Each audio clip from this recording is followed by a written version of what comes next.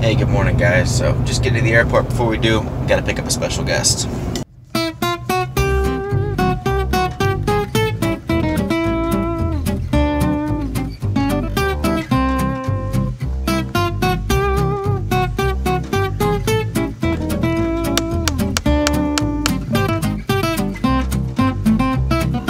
we're here at the RV park, waiting on this bum to wake up.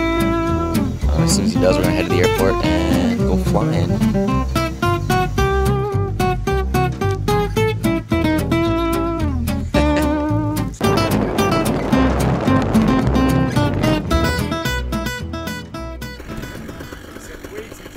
Okay, so um, yeah, again, no giant plan today. Should I get this on over my helmet? Ugh. I was hoping to fly my new Gin Carve, but it's not here. But we got Eric Farewell instead. so yeah, he's on the start of his, I think it's a three-month cross-country tour. This is his first stop, and uh, we're just gonna show him our local flying area, and uh, that's it.